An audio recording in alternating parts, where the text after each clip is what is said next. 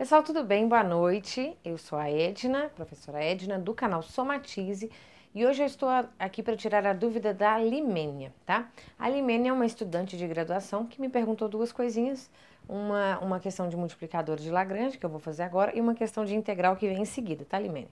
Aguarda aí que tá. Vai sair meia-noite esse vídeo, mas vou te responder, tá? Então, olha só. Multiplicador de Lagrange. Limene, se você já viu algum vídeo meu desse tema, você sabe exatamente o que eu vou fazer.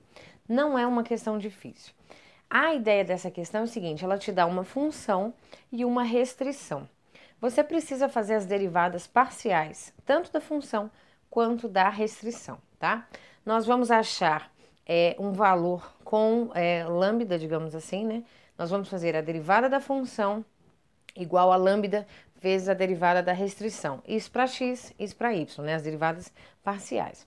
Vamos achar uma o y em função de x ou vice-versa. Ou seja, nós vamos achar, em, vez de eu trabalhar com a restrição, né? No caso que tem aqui, ó, x ao quadrado mais y ao quadrado igual a 1. Em vez de eu trabalhar com a restrição com duas letras, eu vou simplesmente substituir. Uma ou x eu vou trocar por y, ou y eu vou trocar por x. Para quê?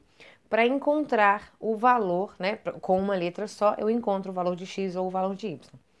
Provavelmente encontro dois valores. Um vai ser o que vai maximizar a minha função e um vai ser, que vai, um vai ser o que vai minimizar a minha função. Então, achei o valor de x e o valor de y. A minha resposta, eu volto na própria função, tá aqui, ó, x mais y é a minha função. E aí eu respondo qual seria esse máximo ou qual seria o mínimo. Aqui no caso, que é maximizar a função. Ou seja, qual o valor máximo que o x e o y pode assumir que vai dar né, um valor de, de z, digamos assim, o maior valor possível de z, de acordo com aquela restrição. Então vamos lá que eu vou parar de enrolar e vou te mostrar como faz. Então, eu nos meus vídeos eu chamo a restrição sempre de g, como se fosse uma função g tá? Então, a regra do meu multiplicador de Lagrange, a maneira que eu sei fazer é o seguinte. Sempre eu vou colocar assim, ó. Derivada da função, que aí eu tô chamando de f. No caso aqui, ó, derivada em relação a x, tá? Derivada parcial. Derivada em relação a x é igual a lambda vezes a derivada da restrição e não mais da função, também em relação a x. Faço isso com x, faço isso com y.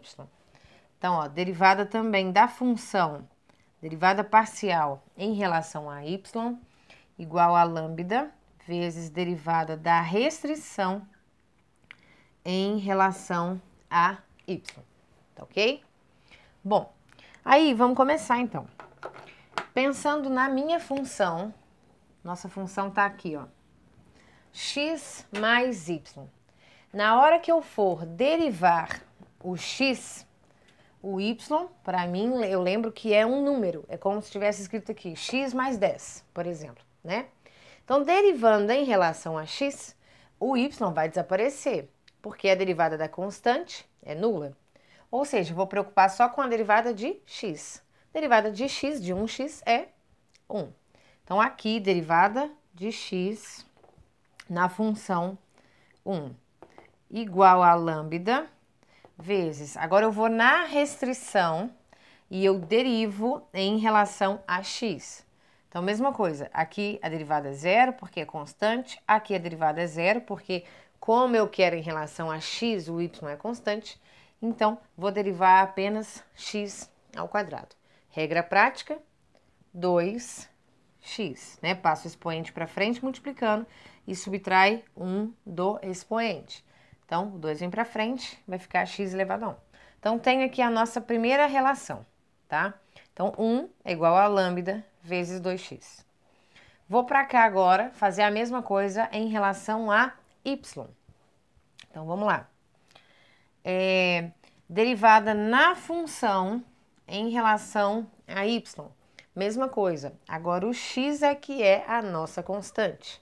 Então, derivada de y, 1 igual a lambda vezes derivada de y na restrição.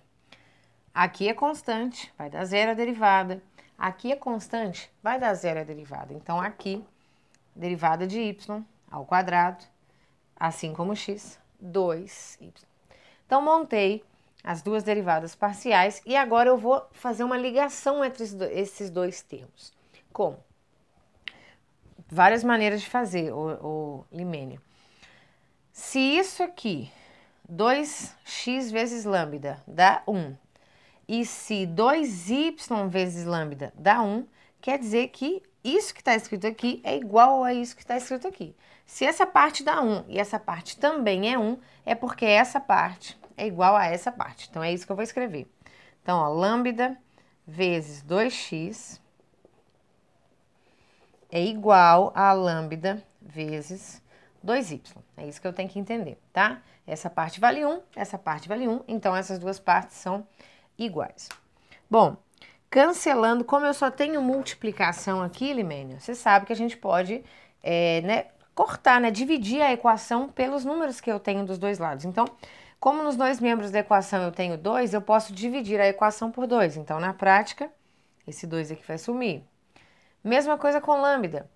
Como eu tenho lambda dos dois lados, eu posso dividir a equação por lambda, então esse lambda também vai sumir.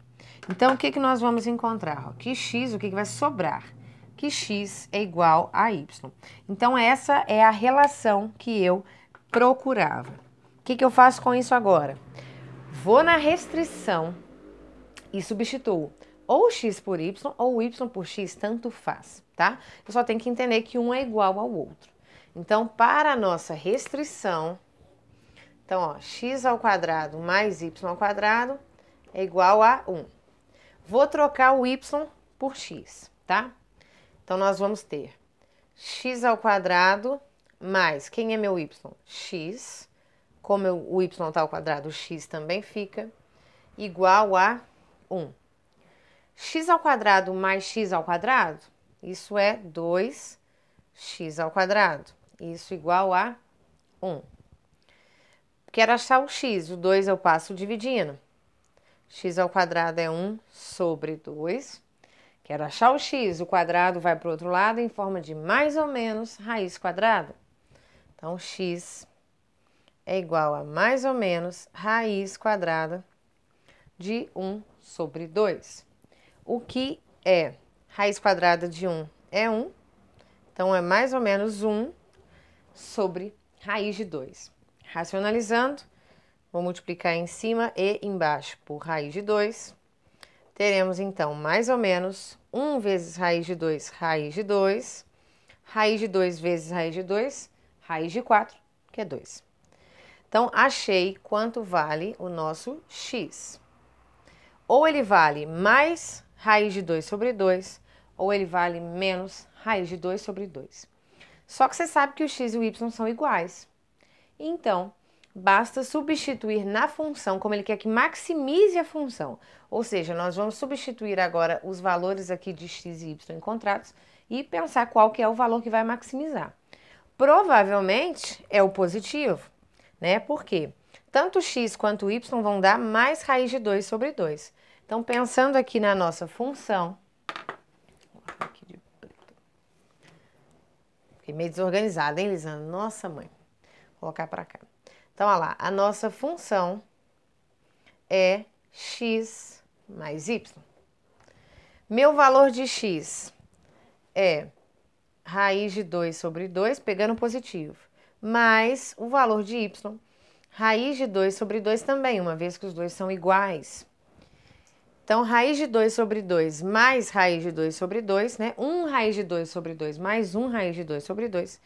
Isso é 2 raiz de 2 sobre 2. Na prática, podemos simplificar aqui o 2, teremos apenas raiz de 2.